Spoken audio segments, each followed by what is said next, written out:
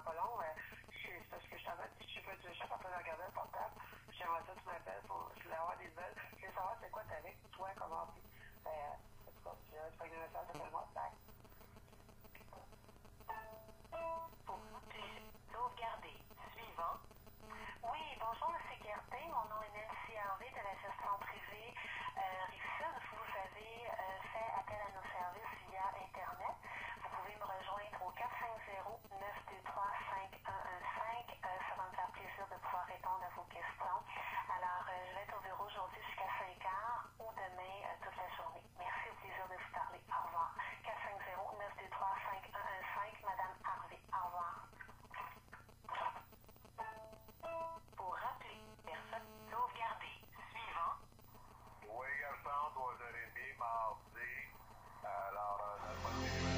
je sais pas.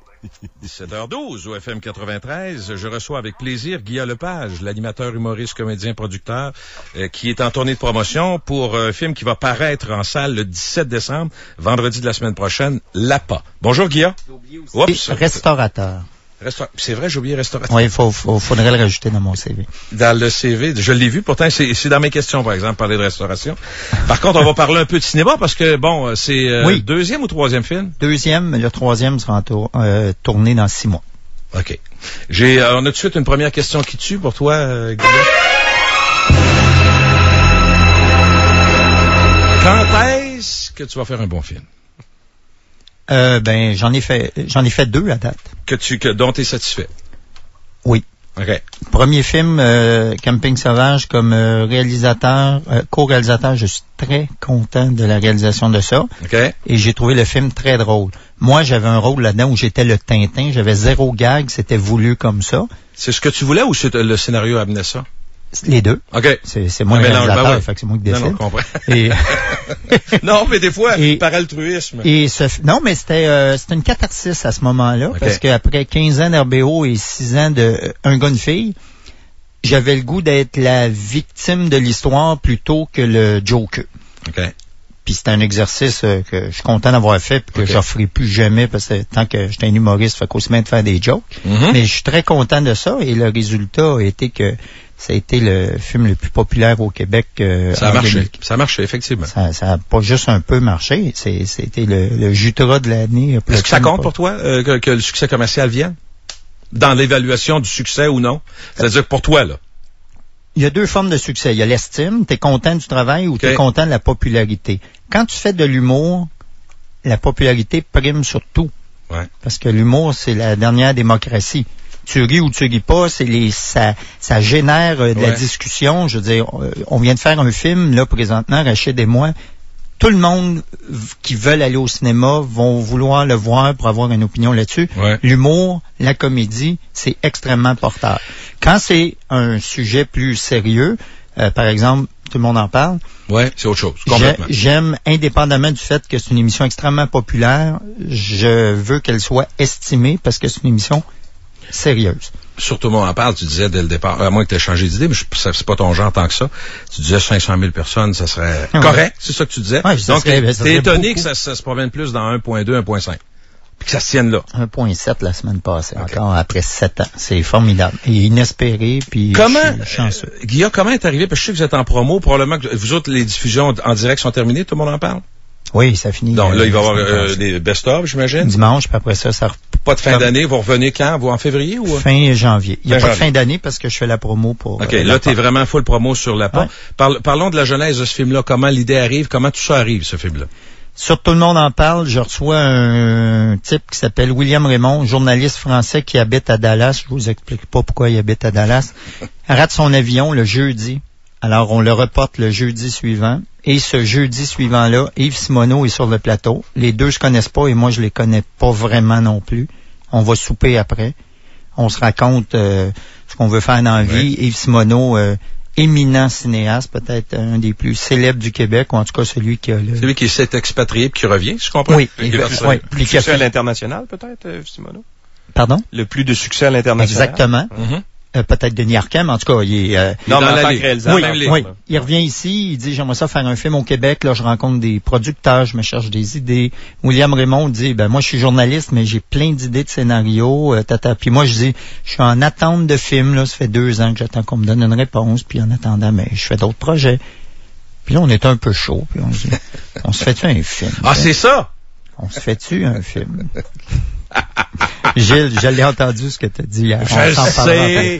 Je- Alors- J'ai promis que je te laisserais parler. Je vais te Ah non, non, parler. mais euh, je peux je peux arrêter puis on peut rentrer Non, là-dedans. continue, c'est intéressant, ça OK. m'intéresse. Alors, euh, on décide de faire le film, puis moi, je dis, j'aimerais ça faire un film à la Jack Bauer. Moi, j'adore ça, les films d'action. Puis, Mhm. même si j'ai 50 ans, je suis encore quand même assez en forme. Puis, je dis, il me reste plus grand temps là, avant de, de marcher avec une canne. Fait que je veux faire un film d'agent secret, puis je veux être l'agent secret, le Jack Bauer. Eux autres, ils disent, bonne idée.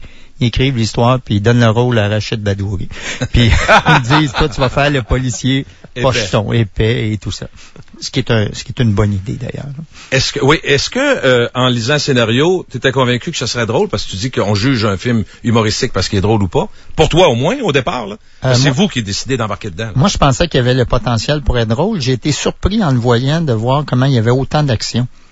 Euh, on dit que c'est une comédie, puis c'en est une parce que il y a- c'est sous le thème de la comédie. Mais Mais il y ça a, pète partout. Ah il y a beaucoup, beaucoup, beaucoup d'action.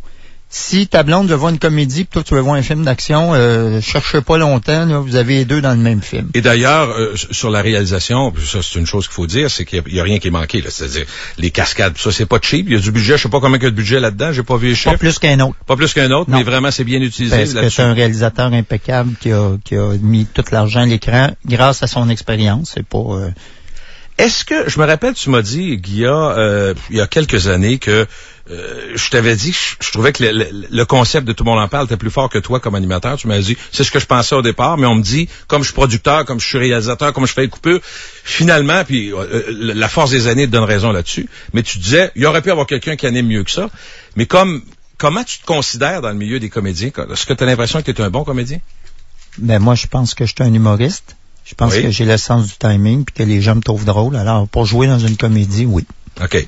Donc, quand tu fais ce film-là, quand tu vois le scénario, tu penses que ça va être drôle. Toi, t'es convaincu encore que ça va être drôle. Parce que là, c'est juste une question de goût rendu là. Oui. Tu comprends? Moi, je te dis, le film, il est réalisé de, de, de main de maître, puis tout ça. Mais moi, j'ai pas ri. J'ai pas trouvé ça drôle. Ben oui, mais t'as le droit, Gilles. Absolument.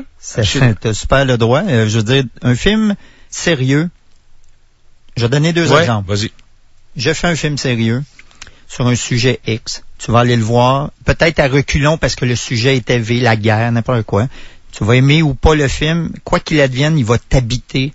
Puis euh, si t'as aimé ça, tu vas en parler à d'autres. Ça, euh, on vit avec un Mhm. film sérieux. Mhm. Incendie de Denis Villeneuve, euh, t'hésites à y aller, tu y vas, tu reviens après, ça fait mal, ça Chamboulé. déchire, Oh oui, chamboulé Complètement.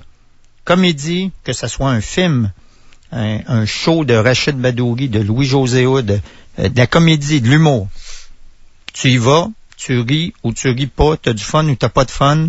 Si t'as ri, c'est comme un bon massage, t'as eu une heure et demie ou t'es mieux. Puis si t'as pas ri, tu repars à comme t'étais et la vie continue. C'est ça l'humour. Absolument. Et Mais tous les que, humoristes tu sais plus on- que qui d'autre? et tous les humoristes savent ça. À un argument, si tu me dis, j'ai adoré le film, j'ai ri comme un malade, je vais te dire, ouais, cool, merci, qu'est-ce que t'as aimé, tu vas me dire une scène, j'ai plus rien à te dire. Si tu me dis, j'ai pas aimé ça, j'ai rien à te justifier, j'ai pas d'argument. Moi, je, moi, en tant qu'humoriste, je pense que c'est drôle. Je l'ai vu dans des salles. Toi et. Rachid, les deux, vous l'avez vu, vous avez vu le Ah, on l'a film. vu avec des gens. OK, on l'a vu avec des salles. Ça on- riait. Oui, c'est, c'est, ça va être un hit. OK. Toi, t'es convaincu encore Ben, que ça va être je suis convaincu, oui. Ben, de toute façon, oui, on oui. juge par, le- par- tu sais, c'est Euh, le box-office qui fait fouet Mais tout genre, ça. dans une semaine, on Oui. va, euh, tu vas savoir si tu as raison ou tort. Ah, et ben moi écoute, aussi. je suis pas obligé d'avoir raison. Je peux pas avoir raison, c'est du goût. Probablement qu'à à mes yeux, j'ai non, mais, raison. non, mais tu, OK, tu veux dire ça marche ou pas? nous allons savoir, toi et moi, puis on n'a pas, on, on le sait pas ni un Mais ni l'autre. comprends que, Mais c'est tout. Guilla, tu t'as dû, vivre ça, puis je pense qu'on peut faire une comparaison qui, est- qui est intéressante. Ça m'a fait mal une couple de fois. Je me rappelle, à l'époque, on faisait des sketchs, où RBO faisait la même chose. Tu sais, des fois, on était très fiers, on avait mis de l'argent sur une toune ou un Ah, montage. On passait la fin de semaine là-dessus 30 heures, puis là, on disait, on vendait notre affaire en disant, écoute, on a travaillé fort, c'est hot.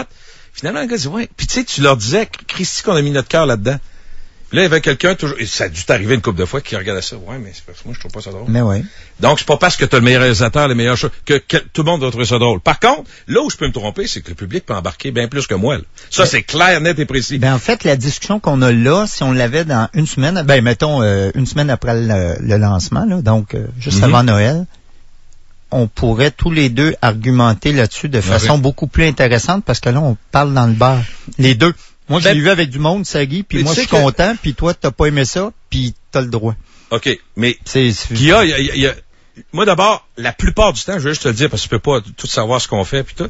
La plupart du temps, quand je reçois des gens, j'essaye de pas aller voir les films pour pas, parce que l'ensemble de ce que représente Guillaume Lepage à mon micro, je trouve que c'est intéressant. Beaucoup de choses que tu fais qui m'intéressent.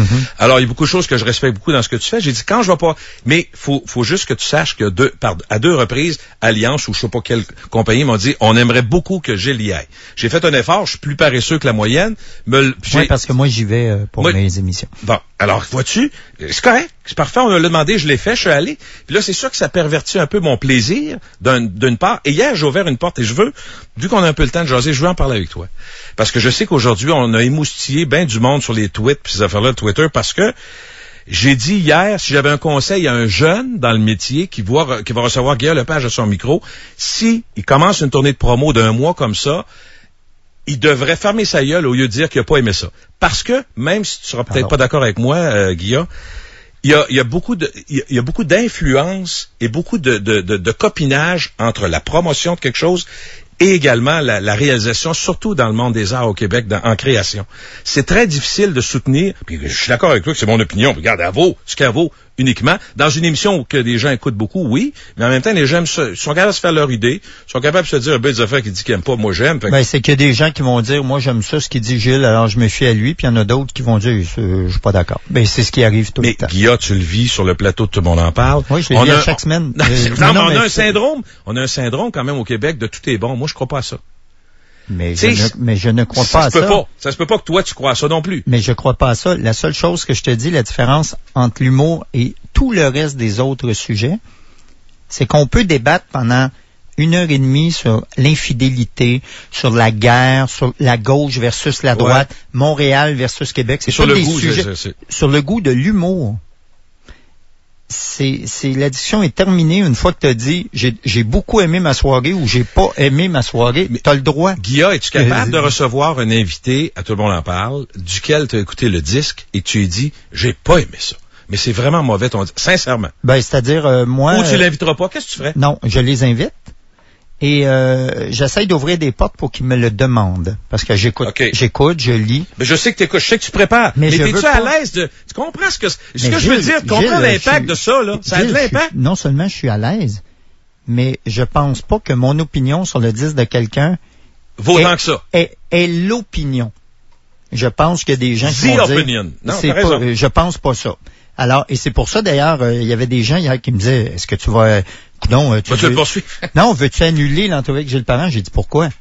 Ben là, avec ce qu'il a dit sur le film, j'ai dit, ben oui, mais il a le droit de pas aimer ça. Moi, le, moi, le reproche que je te ferai a absolument aucun rapport sur ce que tu as dit.